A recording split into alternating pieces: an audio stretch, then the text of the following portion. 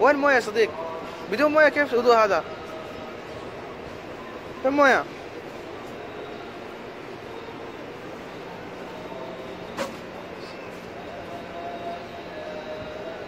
صديق ووتر نو ووتر صديق حاج نو ووتر ووتر ووتر way no way no water what বলেছেন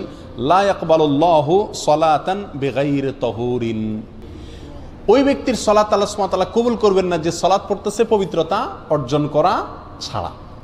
তার মানে পবিত্রতা অর্জন করা সালাতের জন্য পূর্ব শর্ত।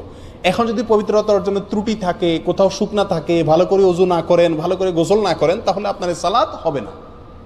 এ সালাত আবার পুনরায় করতে হবে।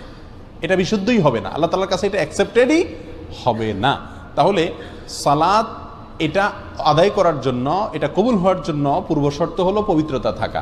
সম্প্রতি একটা ভিডিও ক্লিপ ছোট ভিডিও ক্লিপ আপনারা অনেকেই দেখেছেন হয়তো। অনলাইনে প্রচুর পরিমাণ ছড়িয়ে গেছে। সেটা হলো হারামে মক্কায় ভারতের দুজন লোক, ইন্ডিয়ার দুজন লোক তারা ওমরা বা হজ করার জন্য আসছেন, দেখা যাচ্ছে ভিডিওতে, এবং জামাত দাঁড়ায় গেছে হারামে। এখন আশপাশে হয়তো অজুর জায়গা ধারে কাছে নাই।